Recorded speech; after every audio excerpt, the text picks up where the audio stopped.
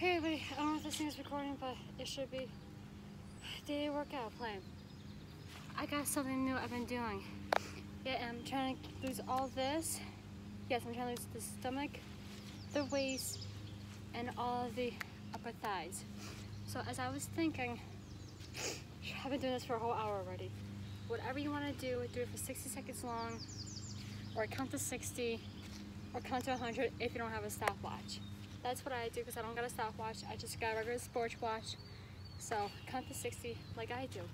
Um, there's this one thing I do is called toe touches, but I'll do the side, lift the one leg up, and use the other arm. Do that for 60, count to 60 or count to 100. So just like that and see how fast you could actually go at it, okay? Um, it's better if you wear sandals or nothing at all, but I'm wearing sandals because the grass is wet. The other one I call is, um, well, I forgot what the name was. but you use your knees and your arms.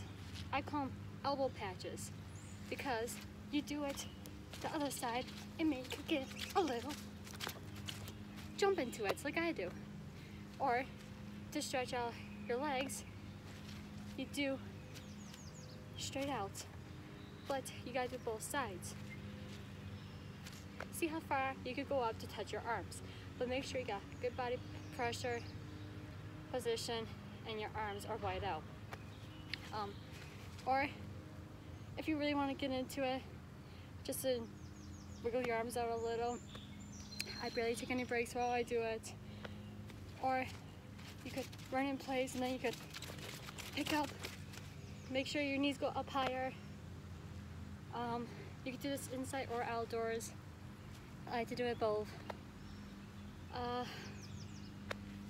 well, if I do something else, I'll let you guys know.